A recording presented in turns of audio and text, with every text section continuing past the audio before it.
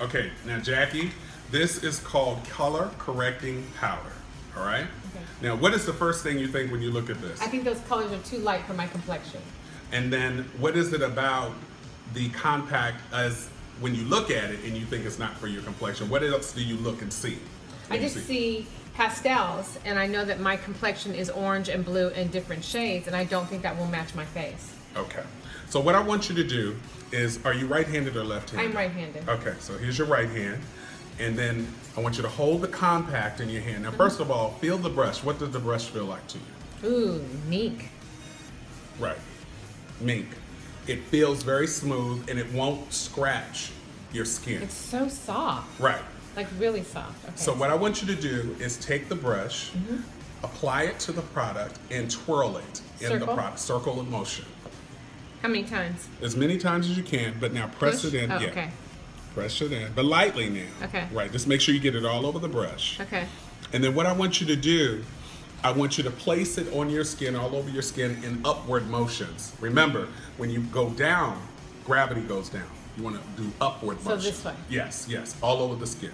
But no, do it in a circular Oh. motion and buff it into the skin. Do you see what's happening?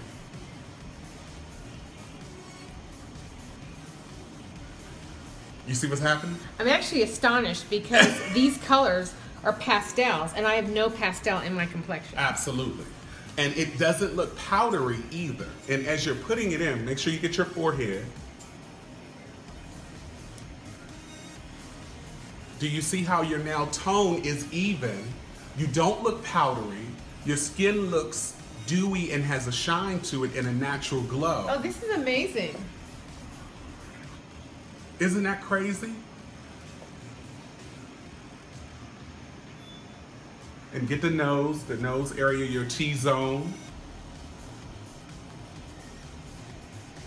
And if you want, you can apply a little bit more. One of the things I love about it is that it looks like it's powder, it looks like they're pastel colors, and it looks as if those colors are going to go onto your skin as those colors. And they what don't. they don't.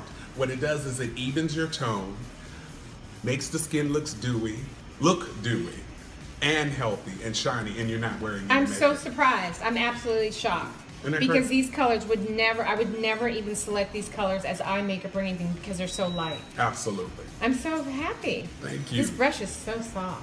Yeah. Thank you, Keith. You're welcome, sweetie. The new color correcting powder by BeautiControl. Be beautiful. Be BeautiControl.